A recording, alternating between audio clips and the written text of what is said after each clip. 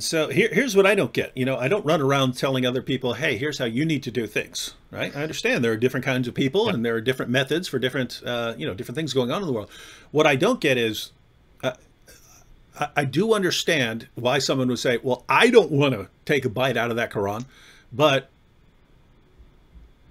if someone says, "Hey, here's what they're about to start," and the the only real way of dealing with this is to do something that strikes at their religion because that's what the Quran commands them. There's one scenario where the Quran will command them to stop.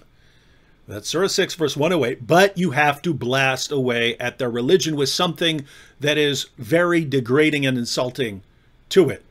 And that will actually force them to stop. Do you do it? I understand someone saying no, and I don't believe most people should. I believe I should because I'm the sort of person who's kind of made for that.